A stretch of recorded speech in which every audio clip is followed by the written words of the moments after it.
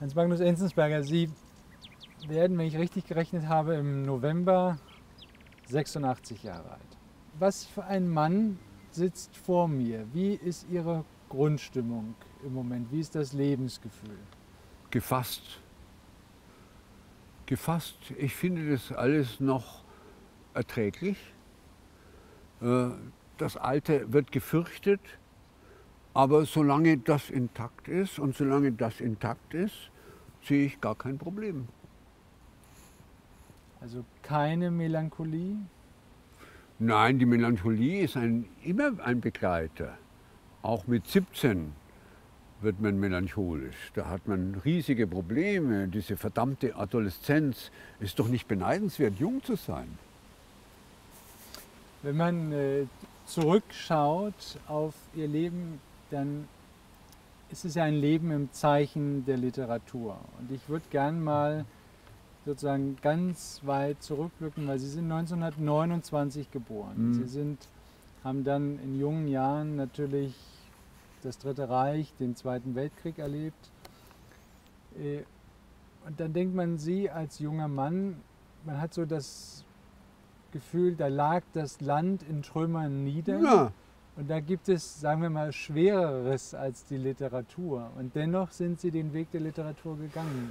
Naja, aber das kann man auch sagen. Die, die Großeltern sagen immer, der Junge hat ja nichts Anständiges gelernt.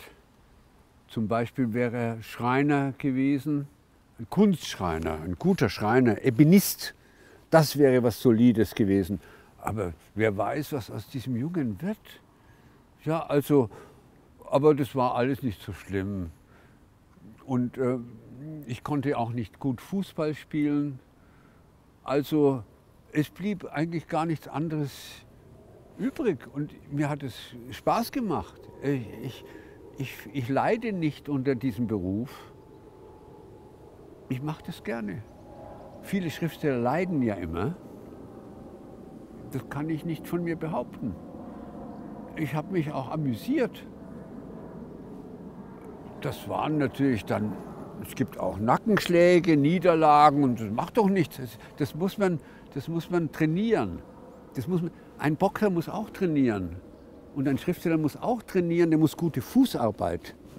Der muss sich bewegen, der muss beweg, beweglich sein. Und der darf nicht immer gleich beleidigt sein. Das ist schlecht. Was waren denn, wenn Sie versuchen, mir das zu beschreiben, in Ihrer Jugend Bücher? Weil bevor man selber schreibt, wird man sicherlich einiges lesen. Waren das Fenster oder Lichtblicke in einer dunklen Zeit? Naja, ich bin ja ein Allesfresser. Das heißt, ich habe schon als Kind immer alles durcheinander gelesen. Also da gab es natürlich gab es Gullivers Reisen, das war ganz wichtig. Aber es gab auch das Weib bei den Naturvölkern zum Beispiel. Ein wichtiges Buch für einen, für einen Zehnjährigen. Ja, da alle möglichen ferne Kontinente, Geheimnisse von Frauen und so weiter. Und Atlanten waren ganz wichtig, waren Atlanten, weil man konnte reisen, ohne zu reisen, auf der Landkarte. Man hat sich das, ich hatte eine Sammlung von Kursbüchern, von Eisenbahnkursbüchern von meinem Vater. Und ich konnte verfolgen, wie, man, wie, kommt man, wie kommt man von München nach Vladivostok. Und von Vladivostok nach Yokohama auf Japan mit dem Schiff. Und solche Reisen habe ich dann, imaginäre Reisen gemacht. Das war doch eine Unterhaltung und hat einen abgelenkt von den Schrecklichkeiten. Und der Entschluss, in Anführungsstrichen Schriftsteller zu werden, war das ein bewusster oder war das ein zufälliger Weg? Nein, man hat ja immer was gekritzelt schon. Man, man, dieses, dieses ist ja auch eine Art Sucht. Lesen und Schreiben ist ja Sucht, so wie Tabak oder Koffein oder sonst irgendwas. Ist keines, keine lebensgefährliche Droge, ist es nicht für mich. Also es war nicht wie, wie Mess oder, oder Amphetamin, wo war es nicht. Es war irgendwie, ich konnte das unter Kontrolle behalten. Und ich hatte Glück. Man muss ja Glück haben. Ein bisschen Fortune, ohne, mit Talent allein und Fleiß allein ist noch nicht genug. Du musst auch noch ein bisschen Fortune haben. Und ich hatte glücklicherweise, da, vielen Dank, weiß nicht warum. Sie hatten ja nicht nur Fortune, sondern ein besonderes Gefühl für Sprache und insbesondere auch für Poesie, für Gedichte. Ihr erster Erfolg war ja ein Gedicht. Mhm. Ja. Erzählen Sie mir von Ihrem Verhältnis zu Gedichten. Warum liegen die Ihnen? Was können die? Warum sind die so besonders? Ja, weil das ist die ökonomischste Form. Weil Sie können mit einer Seite ein Gedicht schreiben, aber Sie können nicht mit einer Seite einen Roman schreiben. Das, das dauert jahrelang und vielleicht bin ich auch zu ungeduldig. Äh, ich möchte nicht so ein Epos in drei Bänden, das ist nicht mein Temperament. Ich möchte beweglich bleiben und äh, die Poesie hat auch diese Eigenschaft, es, sie hat ja, es gibt Spezialisten unter den Dichtern. Der eine ist ein Liebesdichter, der andere ist ein Gesellschaftskritiker, der andere ist ein Naturdichter und so weiter. Und ich sehe das nicht ein. Ich verstehe das nicht, warum man sich da spezialisieren soll. Man kann doch, die, die ist auch ein Allesfresser.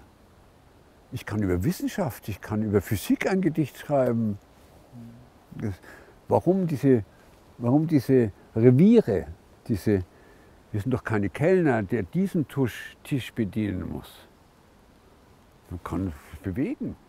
Also so ist mein, das ist, ich mache keine Regeln für die anderen. Na, das mache ich überhaupt nicht, weil man kann die nicht, die, die Akademiker wollen immer eine Regel erfinden, ja, wie man, es gibt eine ganze Lehre der Poetik, es gibt Literaturwissenschaft und ich respektiere das. Aber ich mache nicht die Regeln für die anderen. Und die können, macht, was ihr wollt. Und ich mache, was ich will. Wenn man Ihre Gedichte liest, auch Ihre anderen Bücher, ich will das gar nicht verallgemeinern, aber was mir als Laie auffällt, ist, Sie haben eine sehr klare, direkte Sprache. Sie ist schnörkellos, Sie können und im positiven Sinne mit einfachen Worten etwas ausdrücken. Es gibt ja andere Gedichte, die sehr kompliziert mm, sind. Mm. Naja, ich denke, äh, ich mache immer diesen Vergleich, ein Gedicht äh, sollte vielleicht wie eine Zwiebel sein.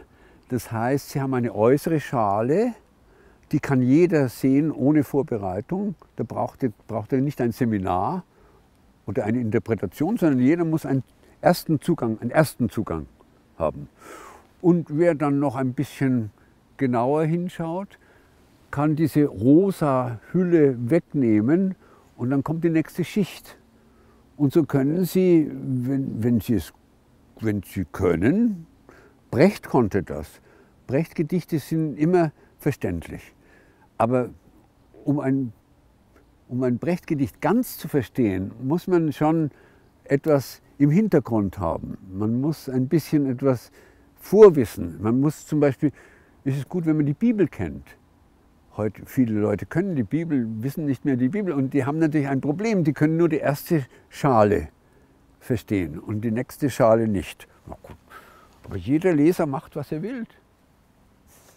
Darf ich Sie bitten, sich kurz zurückzuversetzen äh, in Ihre Anfangsjahre hinein? Also ja. sagen wir mal so um 1960. Ähm, denn aus heutiger Sicht, ich möchte nicht sagen verwundert ist, aber es ist doch es ist eine, ein Poesieband in eine Zeit hinein, der unglaublich erfolgreich ist. Hat man damals... Die haben sich auch geärgert. Es gab auch viel Ärger. Das war alles so ein bisschen, es war auch ein bisschen schrill. Junge Menschen sind schrill. Sie sind ein bisschen zu laut vielleicht manchmal.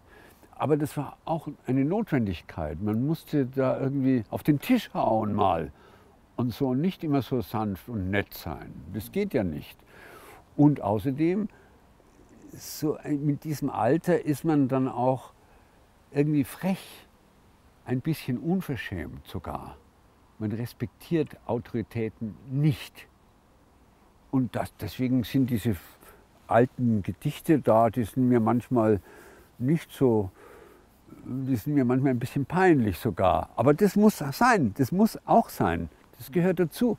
Das haben die alle, die alle waren, ich bin bei weitem nicht der Frechste. Ich meine, Rimbaud war viel frecher. Aber diese Zeit, so um 1960, war ja der Beginn, sagen wir mal, einer Übergangszeit. Also jetzt plakativ gesprochen Stunde Null, dann so die Wirtschaftswunderjahre, ja. die alten Nazis ja, in, ja. in, der Regierung, im System. Und dann auf einmal so langsam Ulrike Meinhof, die frühen Schriften, Beginn des Auschwitz-Prozesses. Ja, ja, ja. Da hinein in diese Zeit haben Sie und andere publiziert. War das auch der Hunger nach etwas Neuem, der Bruch mit dem Alten? Wie sehen Sie das heute? Naja, also das war ja der komische Fall, die komische Situation von, ein, von einer Gesellschaft, die deutsche Gesellschaft musste neu gegründet werden. Die war so nicht mehr lebensfähig. So ging es nicht weiter.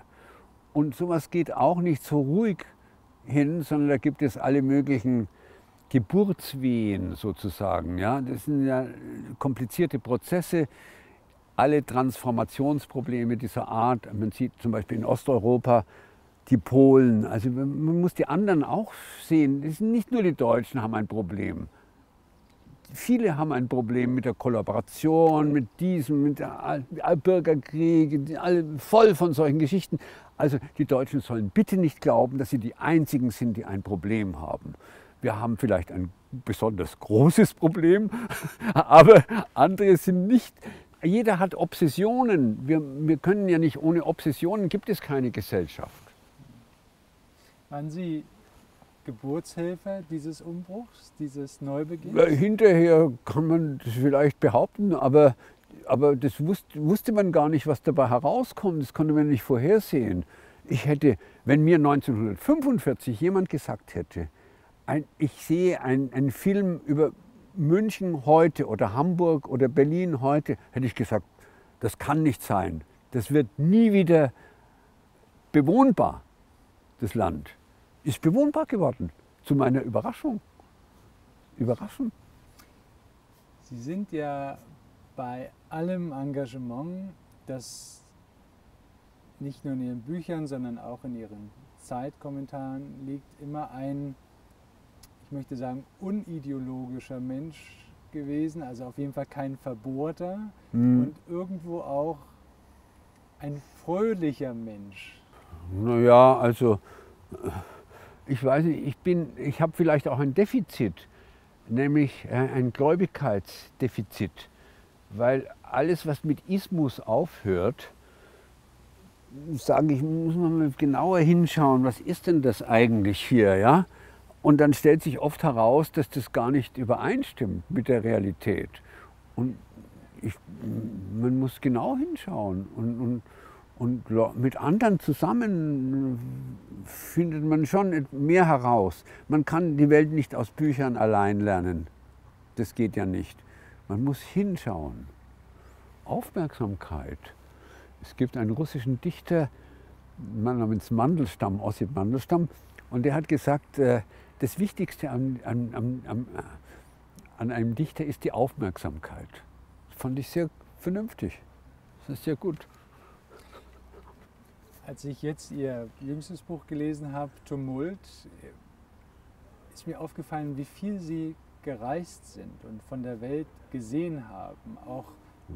welche Türen sich für Sie damals schon geöffnet haben. Hat das sozusagen Ihrem Naturell entsprochen? Waren Sie ein neugieriger, junger? Ja, das schon, aber es gab eben auch, es gab auch das Gefühl, dass ich bis im Alter von 17 Jahren war ich in Deutschland eingesperrt. Also ich konnte ja gar nicht raus, es gab keinen Pass, es gab kein, man konnte nicht einfach sagen, morgen fahre ich jetzt nach Paris. Nach Paris kam ich nur mit dem Stiefeln als Okkupant. Und da war ich zu jung. Die konnten mich gar nicht. Ich war 16, 17. Am Schluss haben sie mir noch eine Uniform gegeben, ja? die Idioten. Aber ich wollte nicht. Ich wollte nicht. Und dann war eben die Parole, nichts wie raus hier. Also Klaustrophobie, eine Klaustrophobie im eigenen Land. Und du musstest hier weg. Und dann hat man ein paar Sprachen gelernt und dann ist man da hingegangen und man hatte kein Geld. Das macht auch nichts. Man kann auch ohne Geld, man kann trampen, man kann irgendwie, macht doch nichts. Aber raus hier. Und das war ganz wichtig. Und seitdem, das war auch eine Art, äh, weil man sieht dann das eigene Land anders, wenn man weg war. Und man sieht einige Sachen schärfer und andere Sachen, es gibt auch so ein, man kann sich aussöhnen, auch mit dem eigenen Land. Man braucht nicht sein Leben lang so tun, als wenn Deutsch sein ist kein Beruf, sage ich immer, ist kein Beruf. Es gibt tausend andere Sachen in der Welt, wo es nicht darauf ankommt, ob du Deutsch bist oder nicht Deutsch bist. Das ist auch eine Obsession. Und so gilt für anderen auch. Ich meine, ich, wenn man nur Franzose ist, ist auch nicht so gut. Man sollte nicht Pluripatriotismus.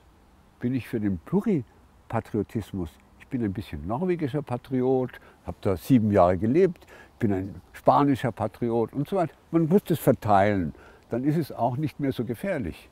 Kann ich verstehen, wenn Sie sagen, wir wollten raus und sagen dann Frankreich, aber Sie sind ja auch in die andere Himmelsrichtung äh, gereist, in die Sowjetunion, in den damaligen Ostblock. Hat, haben Sie diese Reisen auch sozusagen immun gemacht gegen die Ismen dieser Welt? Naja, nein, es war ja so, dass äh, ich komme sozusagen, also äh, ich komme aus einer, aus einer sogenannten linken Kultur. Und das war ursprünglich in, in, im Adenauer Deutschland, war das fast ein bisschen verboten. Ne? Und habe dann Marx damals studiert und so weiter. Und dann habe ich gesagt, ja gut, das ist alles schön und gut wunderbar, der schreibt sehr gut, dieser Marx, der ist ein sehr intelligenter Mann. Aber jetzt will ich mal selber sehen. Ich kann das ja nicht aus Büchern, ich bin doch kein Seminarmarxist, bin ich nicht. Also hingehen und selber, selber schauen. Und da war ich in all diesen Ländern. Ich habe mir das genau studiert. Ich war ein Jahr in Kuba, ich war in, war in Bulgarien, weiß nicht was, in Jugoslawien, habe mir alles selber angeschaut und habe dann eben festgestellt, dass das nicht funktioniert und äh, habe versucht zu verstehen, warum das nicht funktioniert und habe dann wunderbare Freunde dort gefunden, die, mit denen man auch offen sprechen kann. Und da habe ich etwas kapiert. Man, man kapiert ja nie genug, aber ein bisschen was kann man schon, kann man schon kapieren. Kostet ein bisschen Zeit, ist auch lustig. Was äh, mir im Laufe der Jahre aufgefallen ist, das mag Zufall sein oder nicht, das ist dann die Frage, ähm, dass Sie ein feines Gespür für Entwicklungen haben. Also Sie haben ja frühzeitig ein Buch geschrieben, wo von Ossis und Wessis die Rede ist. Ja, ja, ja, ja. Über Migration geschrieben, ja. über den Bürgerkrieg geschrieben. Mhm. Glauben Sie, dass in Anführungsstrichen unsere Intellektuellen, also Schriftsteller, Philosophen, da ein ausgeprägteres Gespür haben, solche Entwicklungen früher wahrnehmen? Weiß ich nicht. Es gibt solche und solche. Es gibt auch, äh, es gibt zum Beispiel äh, fixierte Menschen, die auf irgendwas fixiert sind, die können da nicht weg. Das ist auch ein Temperament. Ich meine, der eigensinnige Hamsun, der war ja fixiert. Der war ein großer Mann. Ich bewundere ihn. Aber ich möchte nicht mit, mit seiner Gedankenwelt, könnte ich nicht gut umgehen. und so weiter. Also nein, das ist eine Frage der Antennen.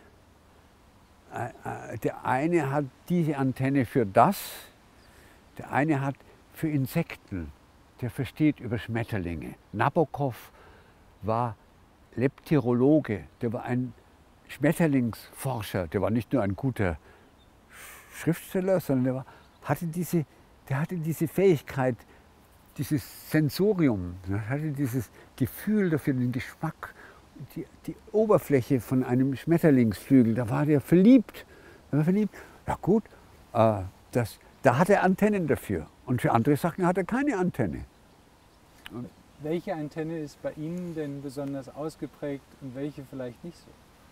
Ja, zum Beispiel bin ich äh, eben, das hat auch Defizite, weil äh, zum Beispiel es gibt Grenzen der Soziabilität, der Gesellschaftlichkeit. Also zum Beispiel, wenn da zu viele Menschen sind, ist mir unwohl.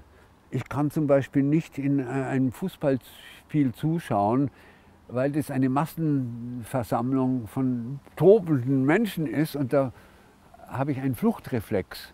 Also das sind auch Nachteile damit verbunden. Ich habe zum Beispiel ein kleines Problem mit Institutionen. Ich möchte nicht Präsident von irgendwas, möchte ich nicht gerne sein, weil das, da muss man Sitzungen und, und, und Statuten und sowas, muss man formalisieren. Und Institutionen sind notwendig, ich verstehe, dass die notwendig sind, aber ich möchte eine gewisse Distanz zu dieser Institution haben. Ich möchte da nicht in die Kommission. Deswegen war ich nie in der Universität, weil da gibt es, da muss man äh, äh, Gremien gibt es in den Universitäten, da muss man da sein. Da gibt es die Kommission für die Neubesetzung des Lehrstuhls und so weiter und so weiter. Und jede, jede Institution hat solche, hat solche Pflichten. Und äh, ich bin, auch ein, ich bin natürlich auch ein bisschen ein Unzuverlässiger. Man, man, man muss zuverlässig sein. Man muss zuverlässig sein und das ist schwer. Wir haben als Gesellschaft ja an unsere Intellektuellen äh, immer besondere Erwartungen. Wenn ein Afghanistan-Krieg ausbricht, dann oh. möchten wir gern hören, was ja. Hans Magnus Enzensberger dazu zu sagen. Nein, das ist ja Unsinn, weil Intellektuelle sind auch nicht klüger als andere Menschen. Es gibt auch dumme Intellektuelle, das muss man doch, das sieht man doch. Da braucht man nur eine Zeitung zu öffnen, dann sieht man, es gibt auch prätentiöse, die eigentlich keine Ahnung haben, aber über alles, die italienische, in Italien gibt es den Ausdruck, man sagt von jemandem, er ist tutologo. Das ist ein alles, ein Alleswissenschaftler, der ist, der ist für alles zuständig. Und den kann man anrufen. Das ist gut für die Zeitungen. Man kann den Alleswisser anrufen. Das ist doch praktisch etwas, was mit Ihren Reisen und vielleicht auch Ihrer Neugier zusammenhängt.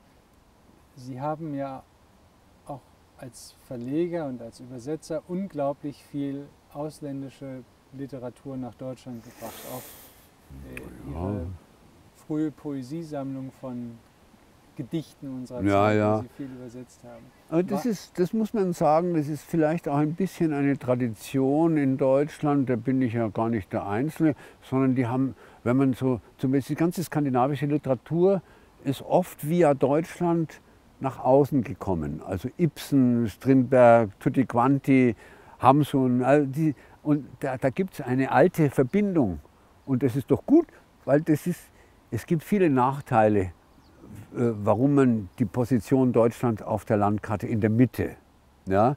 Es gibt auch Nachteile davon, die, diese ganzen Nachbarn, das ist kompliziert und so. Aber trotzdem ist es immer ein Durchgangsland. Und da ist die Übersetzung gut. Übersetzen ist gut, mir gefällt. Ich übersetze selbst gerne. Ich mache es so, mit der linken Hand kann man übersetzen. Wenn man Zeit, wenn man, Zeit, wenn man ein, ich habe, heute fällt mir nicht ein, aber da gibt es dieses, das ist doch gut, das könnte man immer schnell übersetzen. ja. Wie sehen Sie denn unsere Zeit heute, jetzt mal abgesehen von Ihrem Grundoptimismus? Oh, Grundoptimismus weiß ich auch nicht. Das ist immer eine Mischung. Sie sind ja simultan der, äh, der schwärzeste Pessimist und der munterste Optimist gleichzeitig.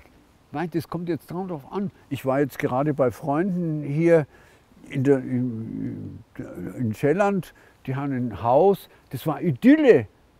Das war ja herrlich, das war wunderbar, wunderbare Gastgeber, äh, Bäume, ein Garten, eine Idylle. Ja, wenn man da nicht Optimist sein soll, dann muss man doch Optimist sein erstmal. Aber dann fahren Sie schon ein bisschen, dann fahren Sie schon in Westerbro, in Kopenhagen ist es nicht mehr ganz so idyllisch. Ja? Also es ist gleichzeitig das eine und das andere. Das ist eine Mischung. Wir sind doch gemischte Menschen. Menschen sind gemischt.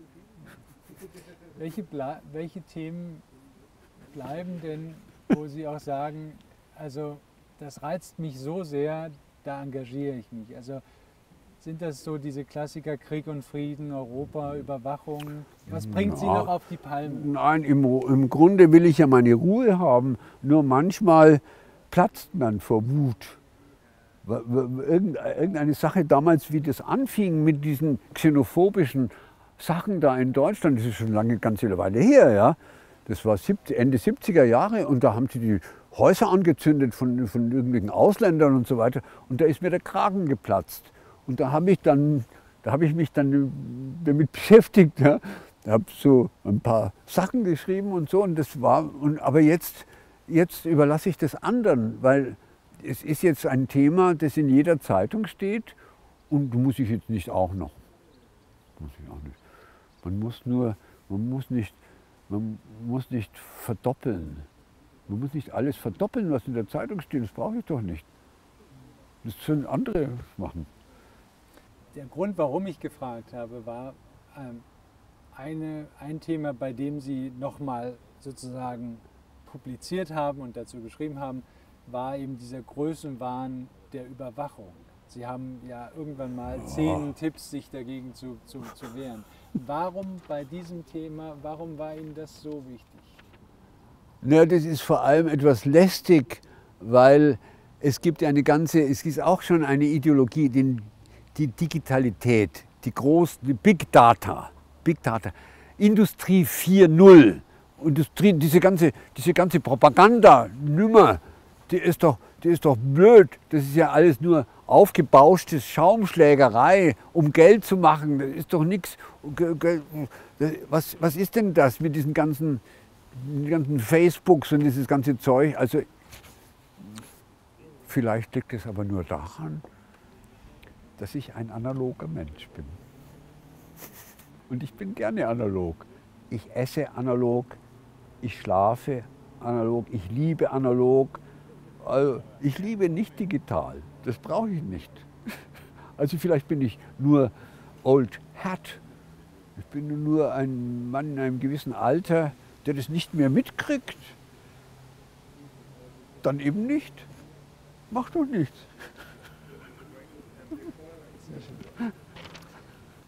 Kommen wir zum äh, Ausgangspunkt unseres Gesprächs zurück. Wenn Sie so ein bisschen bilanzieren, und wir wollen ja hier keinen Nekrolog schreiben, aber, mhm. aber was mhm. bleibt denn?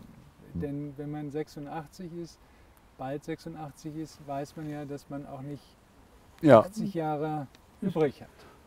Ja gut, aber das ist, ein, das ist eine falsche Überlegung. Was, was bleibt, weiß ich, weiß, das weiß man doch nicht. Die Welt ist auch sehr vergesslich und sie hat ein Recht zu vergessen. Die braucht uns nicht, wir brauchen, brauchen nicht die Unsterblichkeit, das ist nicht unser Thema. Das ist doch kein Thema. Also wenn jemand ein Mausoleum für sich selbst baut, das tut mir leid. Das ist doch vergeblich. Und da könnte, kannst du auch nicht gesammelte Werke mit 20 Bänden, das nützt gar nichts. Die Leute, auf jedem Flohmarkt findet man die gesammelten Werke von irgendjemand, den niemand mehr liest. Also. Aber gibt es bestimmte Bücher oder Gedichte von Ihnen, von denen Sie persönlich hoffen, dass sie bleiben? Ach, es gibt schlechtere und bessere, nach meinem Urteil. Aber ich habe da nichts zu sagen.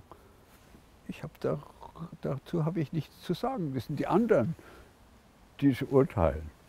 Da schreiben Sie ja auch äh, in Tumult, dass Sie sich schwer tun mit Autobiografie. Ah, naja, das ist ja furchtbar. Das ist ja eine Furchtbarkeit. Weil da musst du einen Trick finden. Weil Autobiografie äh, und Lüge sind sehr nahe beieinander. Und man muss irgendeine Methode finden, um die Distanz zu erzeugen. Und ich bin dann auf die Idee gekommen, einen alten Herrn und einen jungen Mann zu konfrontieren. Und das ist natürlich erfunden. Das, Und dann gibt es Dinge, die sind nicht erfunden. Und das muss ein Leser entscheiden können. Also das ist jetzt, jetzt erfindet er ein Gespräch, das, eine Fiktion. Und da ist aber etwas, das muss stimmen, das, das muss eins zu eins richtig sein. Das, wenn der lügt, dann kann er widerlegt werden. So, das war die Idee, aber ich meine, wie das, ob das funktioniert, weiß ich nicht. Aber, aber, und der Zufall kam mir zu Hilfe, weil ich durch einen, ein Freund hat gefunden in meinem Keller diese Schachteln und ich hatte, ich bin sehr vergesslich. Ich vergesse dann, was ich geschrieben habe, das vergesse ich am liebsten. Ne? Das muss man ja wieder weglassen. Und da hatte ich die Sachen ausgepackt. Und dann habe ich entdeckt, diese Khrushchev-Geschichte da, das war aufgeschrieben. Das war schwarz auf weiß da, eins zu eins war das da. Und dann habe ich gesagt, na gut, das wollen wir montieren. Das kann man montieren. Sodass das die Perspektive von dem damaligen und nicht die Perspektive von jetzt. Das ist ein Unterschied von der Perspektive. Na gut, und also es war ein, war ein, ein, ein Versuch. Man kann es so machen, man, aber es bleibt immer ein Rest von Peinlichkeit in der Autobiografie. Hat es Vorbilder gegeben, beziehungsweise Menschen, die äh, Sie besonders beeindruckt haben, wo Sie sagen würde, im Buch meines Lebens, obwohl, diese, obwohl Sie diese Autobiografie nicht schreiben, hätten die einen gewissen ja, das, ja, das ist ja gar kein Unterschied. Man kann ja gar nicht sagen, dass der, der eine ist vielleicht seit 2000 Jahren tot, der andere ist ein Typ, den ich im Café sehe. Ja. Der eine ist berühmt, die andere ist eine wichtige Person in meinem Leben das ist vielleicht eine Frau, aber deren Name steht nicht in der Zeitung. Das ist doch vollkommen irrelevant. Darum geht es überhaupt nicht. Und äh, das hängt vielleicht auch mit meinem Zweifel an der Wichtigkeit zusammen, weil Wichtigkeit ist immer relativ. Und jemand, der glaubt, dass er, dass er, das, das gibt solche Berufskrankheiten von Politikern oder auch von Künstlern ist der Größenwahn. Der Größenwahn ist doch nicht, nicht, das nicht produktiv. Größenwahn als solcher ist nicht produktiv. Also das, das muss nicht sein.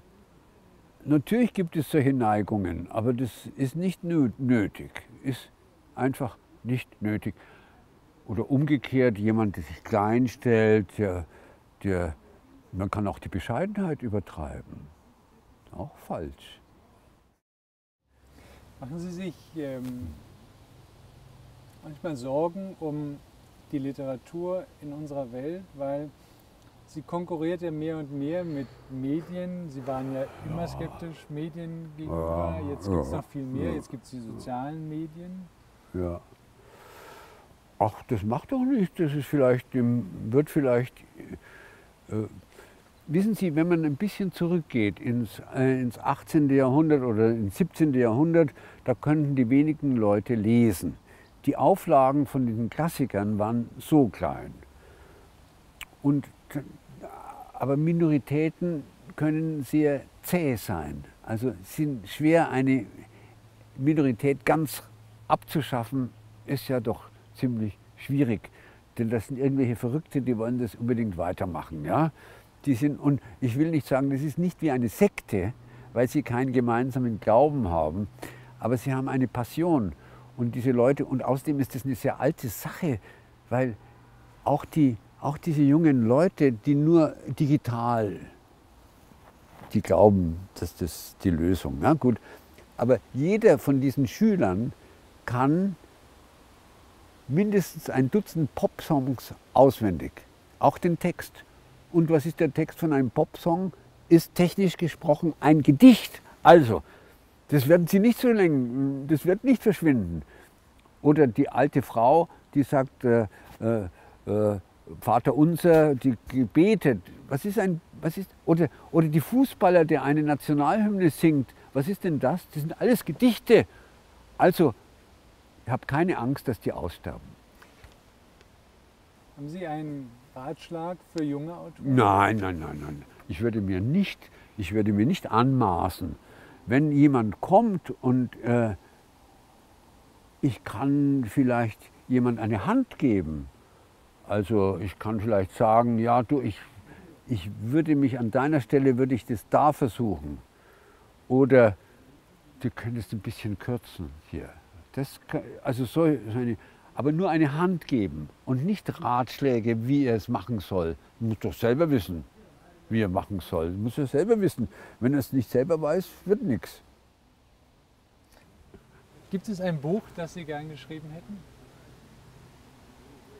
Äh, weiß ich nicht. Nein, es gibt immer ein ungeschriebenes Buch, von dem man denkt, das könnte ich vielleicht noch schreiben. Aber das ist wahrscheinlich zu schwierig. Und vielleicht wird es nie geschrieben. Letzte Frage. Sie sind 1929 geboren.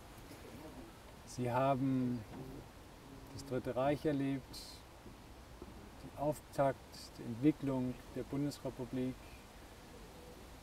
die Wiedervereinigung, die Digitalisierung, die Globalisierung. Also in Ihrem Leben ist eine ganze Menge passiert. Ja, bei den anderen auch, bei den anderen Menschen auch. Jeder, jeder 80-Jährige hat einen Roman. Äh, den er nicht schreibt, äh, aber den er, den er erlebt hat. Der hat, ist geflohen, der ist Flüchtling, der ist da. Der, der eine, sein Vater wurde in, Russland äh, verschleppt. Oder, alle haben Scheidungen, haben sie Familiendramen. Also jeder hat seinen Roman, ist nichts Besonderes. Jeder hat einen Roman. Gott sei Dank schreiben nicht alle diese Romane.